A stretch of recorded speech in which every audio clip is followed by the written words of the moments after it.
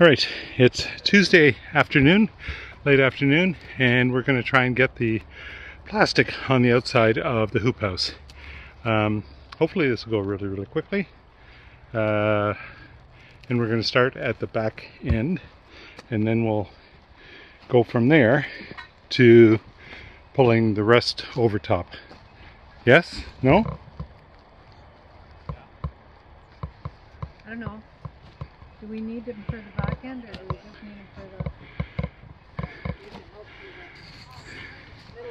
Yeah, primarily for the middle part.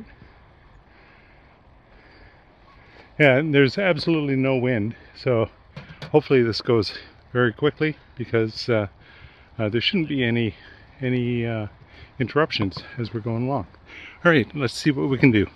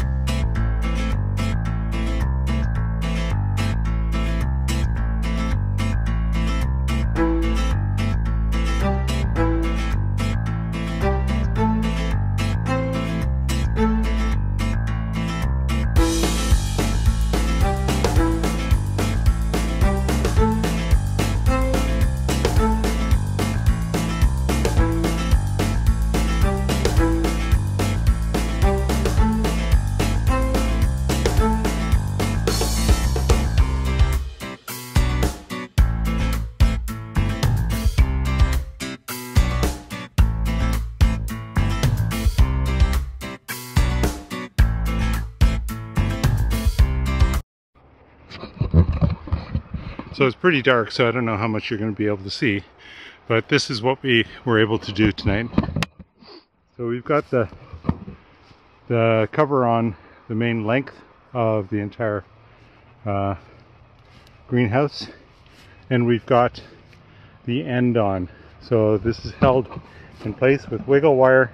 We put the wiggle wire all the way up the edge. You can see the black, maybe. And uh, it's inside the channel so it's actually holding everything in place by the tension that it puts inside the channel itself. And here we've got two pieces of wiggle wire, or two pieces of plastic that are over top of each other.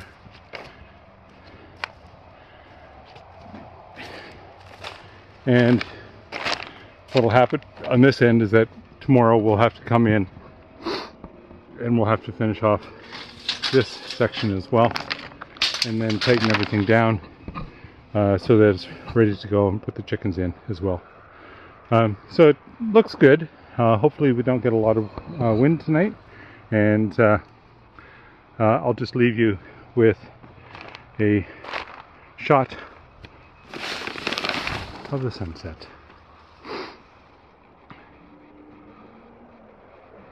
Over Selwyn. Sorry about the electrical